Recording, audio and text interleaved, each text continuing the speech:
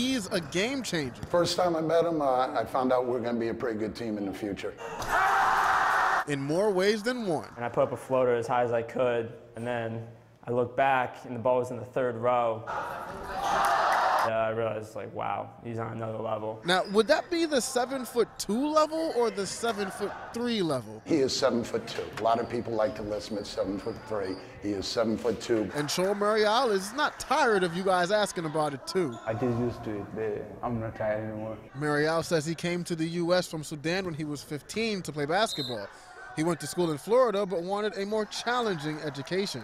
A friend of the family contacted Coach Kevin Keough. I actually watched about 30 seconds of film when uh, I got the call on him. I said, yeah, we'll definitely take him. Marial played soccer in Sudan, but picked up hoops when he was 13. I just love that basketball. It shows. I think he's the best shot blocker in the country. I've never seen anyone like him. When they see me, actually, they'll be scared. He doesn't demand the ball, he goes and gets it. And on top of being huge, he can also hit from the outside, handle the ball, and has a wingspan longer than anyone currently in the NBA.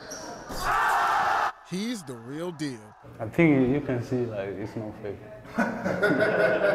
on the court and off, Marial is charismatic and a leader. He's the type of kid that you want babysitting your kids, have him coming over for Christmas dinner. I, he, he just, and everybody will get to know him. You've never meet a kid like this.